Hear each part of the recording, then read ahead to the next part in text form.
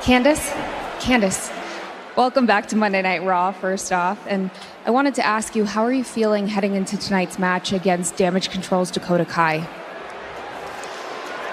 You know, I haven't been on Raw for very long. I, I got here, head down, smile on my face, just trying to get the lay of the land, and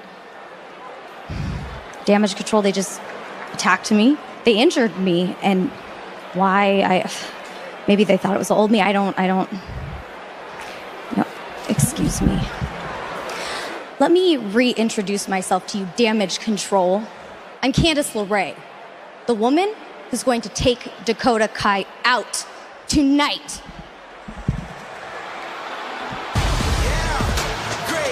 Candice LeRae hasn't been seen on Monday Night Raw in five weeks, but she's back now and looking for revenge. She'll go one on one with Dakota Kai tonight on Raw.